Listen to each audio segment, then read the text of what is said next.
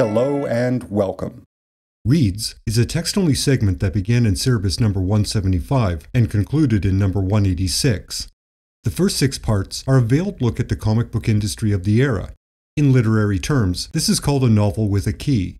If one is familiar with the people involved and the series of events, one can easily see through the veiled references and interpret exactly whom is being discussed.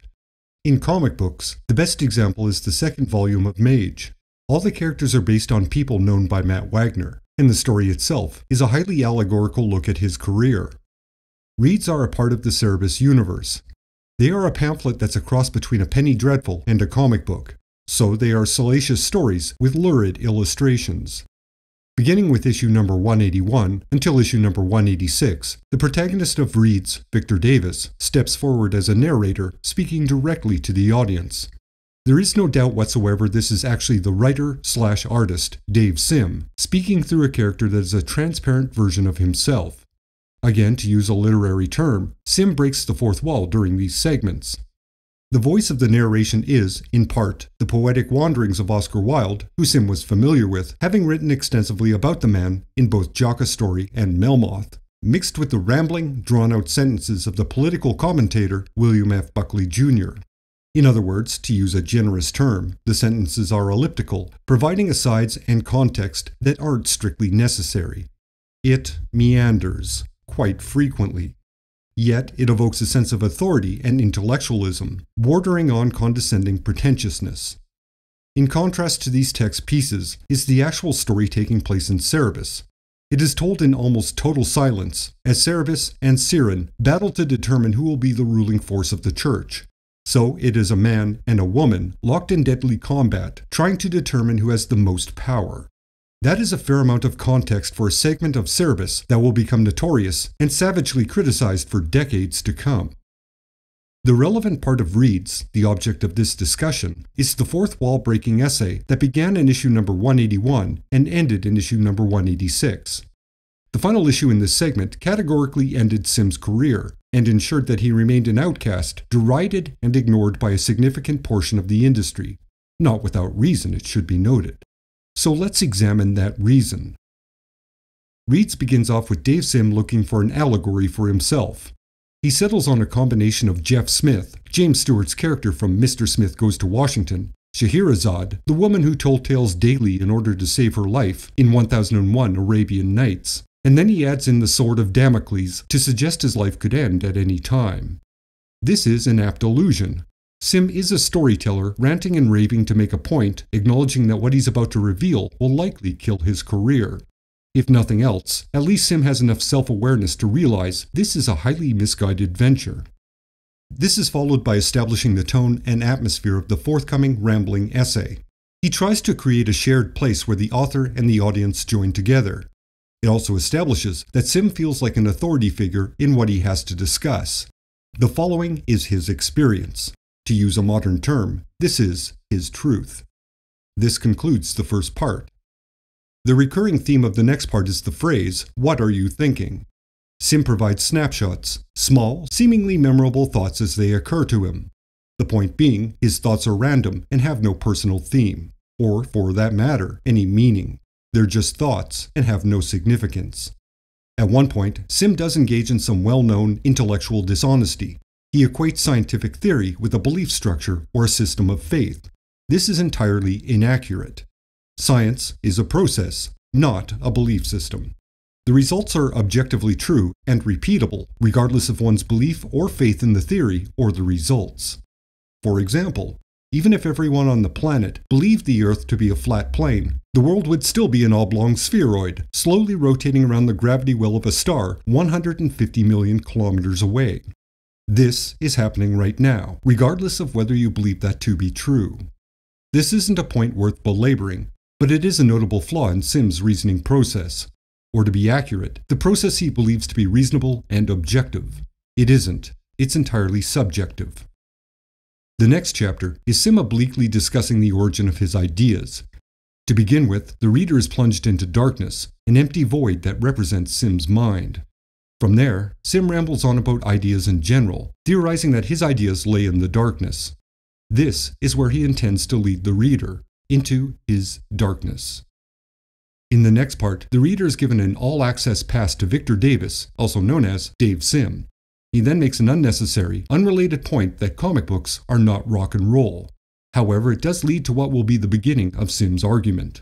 The bulk of this piece is Sim showing the reader something he doesn't describe in any detail. This something is, allegedly, sublime. It is an awe inspiring hymn. Additionally, he equates a nondescript her with the blackness of a void and the emptiness of space. Objectively, the entire piece is mostly nonsense. But it gets worse. The penultimate part begins with the reader watching the awe inspiring male entity metaphorically and literally ejaculating into the female void. This becomes a highly strained metaphor where the awe inspiring him attempts to please the empty void of her, to no avail. The entire entry is pure poetic nonsense. For most people, it will stretch the boundaries of their patience. Sim thinks he's saying something profound, using a prolonged metaphor that becomes increasingly unnecessary the longer it's used. This is an endurance test of boring non sequiturs mixed with some disturbingly simplistic imagery. However, the point being made is this men are creative and filled with light. Women are voids that leech off men and destroy that light. The stage, such as it is, is now set for the final act. Now, one would presume the preceding five parts would be the basis of the argument in the final part, but that's presuming there's an argument to be finalized. There isn't one. What one gets is Sim's opinion concerning gender politics and its influence. Now, to get a bit more granular, an argument is supported by fact and reason. An opinion is a subjective piece based on one person's experience. It may sound reasonable, and many may suggest it is, but it is not based on reason. It is mostly observational, speculative, and anecdotal. This distinction is important. It's important to note that Sim is not presenting an argument, he is expressing an opinion. He may be arguing that opinion, but he is not making an argument. The main concern, if it can be boiled down to one thing, is that Sim objects to people making decisions based on how they feel rather than what they think. The blame for that trend is the female influence on society. Now, what follows is a thorough point by point breakdown. In fact, this may seem a bit pedantic. However, it's being done to underscore the lack of a narrative thread throughout the essay. This is a collection of biased observations that don't gel into a coherent argument. Any conclusions one does make, they arrive at on their own. In this modern age, there is a female void and the male light. Roughly translated, that means there is more emotion and less reason. Sim assures the reader he has extensive notes about the topic. Within logical fallacies, this is known as the argument from authority. The subtext being, his opinion should be given weight because he's done a lot of reading. This is followed by a JFK anecdote where the former president humorously states he's never been in love. There is a critique of journalism proposing that it is based on the question, How do you feel? rather than, What do you think? Exactly one example, concerning an interview with a pregnant teen girl, is cited. This alleged journalistic preponderance on emotion rather than reason is blamed on the female void.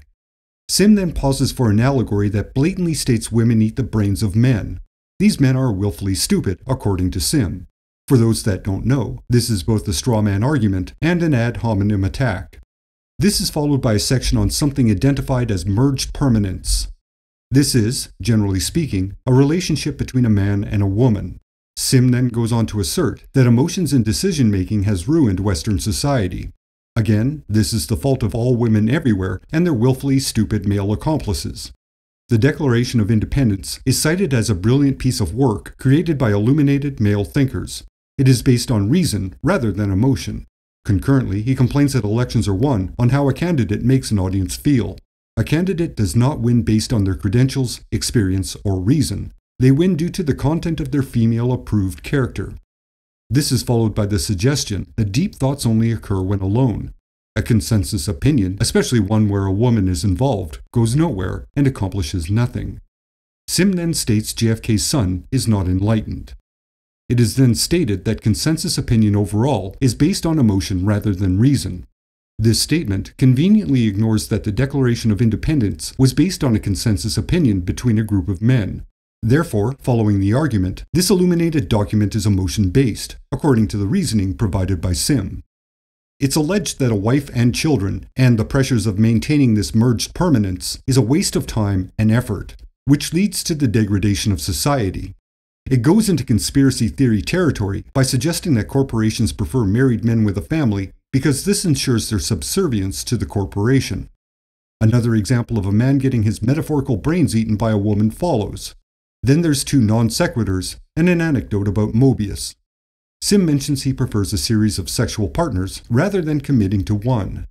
Sim then advocates for being alone and isolated. He doesn't state the benefits of this choice, he only lists the negative aspects of living with a woman. Quote, if you look at her and see anything besides emptiness, fear, and emotional hunger, you are looking at the parts of yourself which have been consumed to that point. Unquote. It is then argued that women are not muses. Some out of context quotes from Jack Nicholson are next, and then an anecdote about Picasso ignoring his wife and mistress fighting. Another anecdote with Alan Moore follows. After that, Sim admits he'd rather have a string of lovers rather than one constant partner. Sex is then equated as being gold, while emotions are equated as being paper currency. In other words, sex is more valuable than, say, love. However, according to Sim, women believe the opposite. This is followed by a statement that sex in a relationship diminishes over time, the blame for which is placed on women, and withdrawing sex is the only real power a woman has. It is suggested this may be the leading cause of domestic violence. Conveniently overlooked is the fact that diminishing returns for sex between a long term couple occurs on both sides of the equation. Not to mention, this includes the standard erroneous implication that women do not pursue sex for their own pleasure. Sim then capitulates somewhat and acknowledges that not all women are emotion based voids. He cites Colleen Doran, Teri Wood, and Coco Chanel as examples of exceptions, it is then stated that sensible behavior happens far more often in men than in women, despite these exceptions. Sim claims this opinion is neither bigotry nor sexism. He claims there is empirical evidence to support this position. Five comparative examples are then supplied. All examples ignore the historical context of these comparisons, and none are quantified. They are statements of fact without evidence to support them. Again, this is an opinion. It's not science, nor anything resembling the scientific process. The empirical data is not just questionable, it's non existent. Irony arises as Sims struggles with intellectual dissonance. Quote, no general observation could be considered sound if there existed an anecdotal refutation. Unquote. This is ironic because the entirety of Reads is both a generalized observation, or opinion, using anecdotes as evidence. According to his reasoning, this is a symptom of the female emotional void. Overpopulation is argued as an example of Western society being controlled by women. It is claimed that birth is female and death is male. Logically, if Western society were actually controlled by men, there would be a balanced population, not overpopulation. This is followed by an anecdote where the cartoonist, Jeff Smith, disagrees with Sim's premise concerning death and birth. A newspaper article concerning the cleanup of seals following an oil spill is mentioned. Allegedly, one seal was cleaned, released to the wild, and immediately eaten by a killer whale. It's implied this effort was a waste of time and money. Notably, Sim does mention the possibility that this news item is apocryphal. Despite that, it is then used to illustrate the absurdity of considering life as something that needs preservation. For the record, this seal story has been disproven. It never occurred. A Winsor McCay illustration is used to solidify the notion that death is a necessary function. Again, it's reiterated that life, as personified by overpopulation, is way out of balance. This is a symptom of an emotion based reasoning system. The next portion continues to assert this notion, using examples of general paranoia concerning personal safety, yet another symptom of an emotion based reasoning system. Finally, fear is suggested as one more symptom of an emotion based reasoning system. Two non sequiturs follow. Sim admits that his alleged reasonable arguments are trumped thoroughly by emotional arguments, because one cannot reason with emotion. This is followed by two forced metaphorical instances where a female void has no idea what to do next. Quite honestly, it is a straw man example, and quite petty at its core. For the remainder of this concluding episode, Sim vaguely reiterates his points, and then he introduces a young lady he refers to as the exception. First, he concedes that his opinion may be considered controversial, but it's one he's maintained for many years, and he's been waiting for the opportunity to present it in Cerebus. He also concedes there may be severe repercussions for expressing this opinion in print. He ends with a call out to feed the light and reject the void. One cannot sustain both. The final few paragraphs suggest this rambling essay has inspired the light and several others. Now, the previously mentioned exception has to be examined somewhat.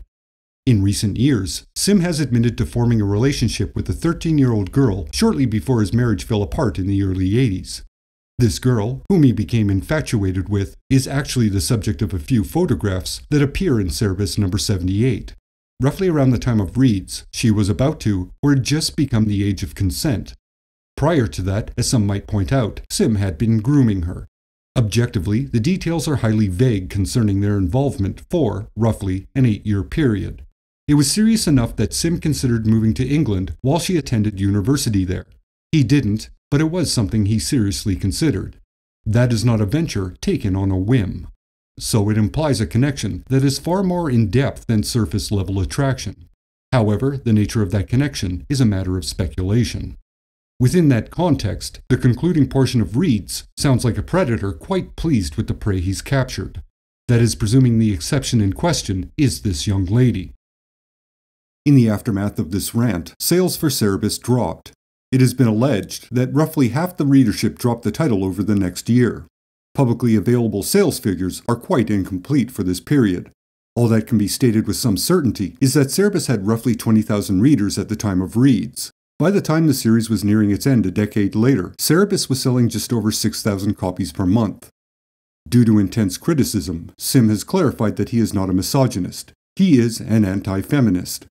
Reads criticizes a political movement, not a gender. One can accept that clarification as intellectually dishonest hair splitting, or one could point out that he specifically mentions women, not feminists, in that essay. Either way, it's difficult to accept that clarification on its merits. To this end, Sim wrote an essay titled Tangent.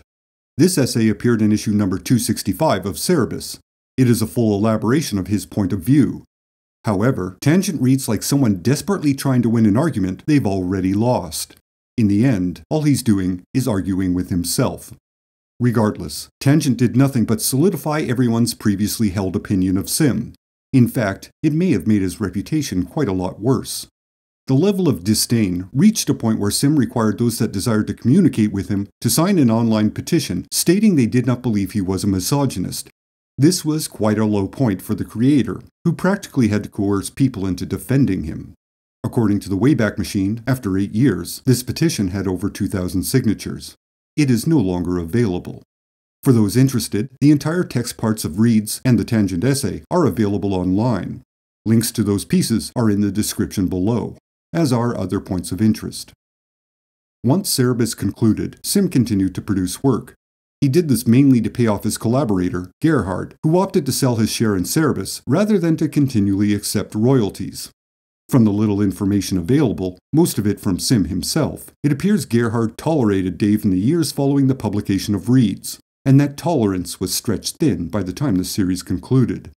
This may be one reason why Gerhard was always a silent partner, one who did very few interviews and rarely discussed the Cerebus project, Possibly, he didn't want to be put in a position to defend or defer comment on Dave's point of view concerning women. It's only common sense that you don't openly disagree with your employer in public.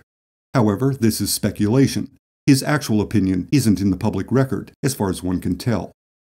Sim produced one graphic novel, Judenhaus, and one ongoing series, Glamourpuss, with Zootanapuss being a spin off of that title. Recently, he's published a Fumetti style comic called Cerebus in Hell? Of those four titles, Glamourpuss was possibly the most successful. Its first issue sold over 16,000 copies.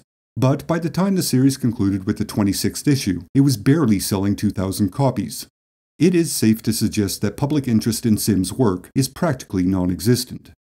In fact, within the final issue of Glamourpuss, Sim essentially admitted his career was over. He has spent the bulk of his time in recent years ensuring Cerebus remains available and preserved well into the future, all of his efforts seem to be geared towards that goal. Due to Reads and all that followed, Cerebus has disappeared from any public discussion. It's only mentioned to highlight the controversy surrounding Dave Sim. Any potential legacy it may have obtained is tarnished, and its accomplishments as an amazing example of the medium are mostly forgotten, or mentioned with begrudging respect and a multitude of stipulations. Reads provides a context for the final third of the Cerebus saga that is hard to overlook. Either one has to be generous and put aside the artist for the sake of the art, or one agrees with Sim's point of view and enjoys the ensuing examination of women doing terrible things.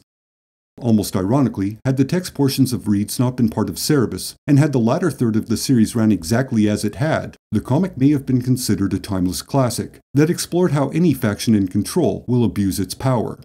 Instead, it comes off as a bitter writer belittling an entire gender.